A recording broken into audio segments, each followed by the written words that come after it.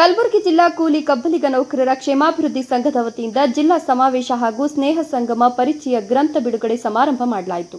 ಇದರ ದಿವ್ಯ ಸಾನ್ನಿಧ್ಯವನ್ನು ಜಗದ್ಗುರು ಪೂಜ್ಯ ಶ್ರೀ ಶಾಂತಬಿಷ್ಟ ಚೌಡಯ್ಯ ಮಹಾಸ್ವಾಮಿಗಳು ವಹಿಸಿಕೊಂಡಿದ್ದು, ಗಂಗಾಮತ ನೌಕರರ ಕ್ಷೇಮಾಭಿವೃದ್ಧಿ ಸಂಘದ ರಾಜ್ಯಾಧ್ಯಕ್ಷ ಎಂ ಶ್ರೀನಿವಾಸ್ ಕಾರ್ಯಕ್ರಮವನ್ನು ಉದ್ಘಾಟಿಸಿದರು. ನಂತರ ಸ್ವಾಮೀಜಿಗಳು ಕಾರ್ಯಕ್ರಮವನ್ನು ಉದ್ದೇಶಿಸಿ ಮಾತನಾಡಿ, ಯಾವುದೇ ಒಂದು ಸಮಾಜ ಬೆಳೆಯಬೇಕಾದರೆ ಸಮಾಜದ ಮುಖಂಡರು, ಸಮಾಜದವರು ಒಗ್ಗೂಡಬೇಕು. ಆಗ ನಿಸ್ವಾರ್ಥ ಸೇವೆಯಿಂದ ಮಾತ್ರ ಸಮಾಜ ಬೆಳೆಯುತ್ತದೆ ಅಂತ ಹೇಳಿದ್ರು. ಮಲ್ಲಿಕಾರ್ಜುನ ಸಂಗೊಳಗಿ ಎಸ್ ಟಿವಿ ಫೋ ಕಲಬುರಗಿ.